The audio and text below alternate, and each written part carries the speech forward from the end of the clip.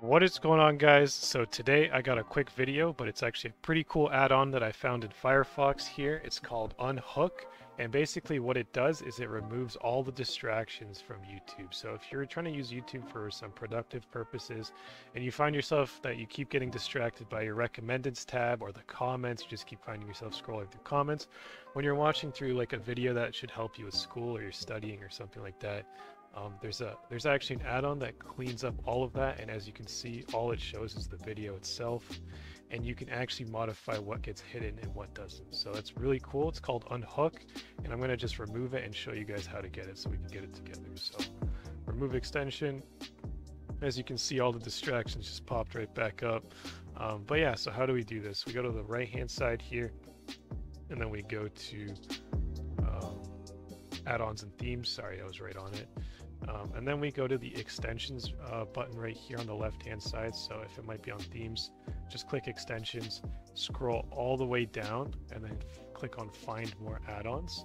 And here is where we can Google or not Google, search unhook and then just hit enter.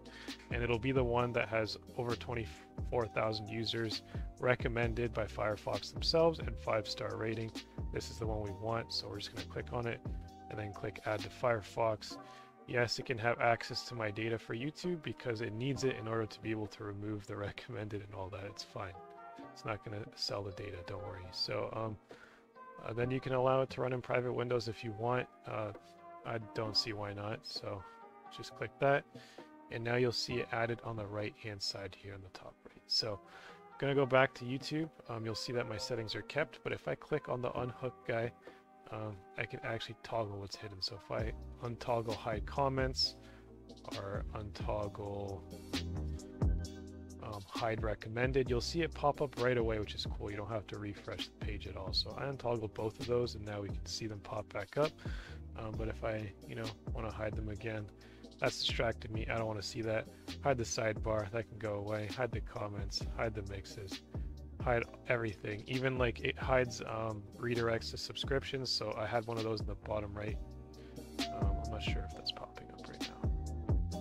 Maybe that's already being blocked. But um, yeah, it, it can hide everything. So um, yeah, that's kind of how you remove all the distractions from YouTube, guys. Hopefully you found this quick video helpful. If you did, please drop a like and don't forget to subscribe. Thanks for watching.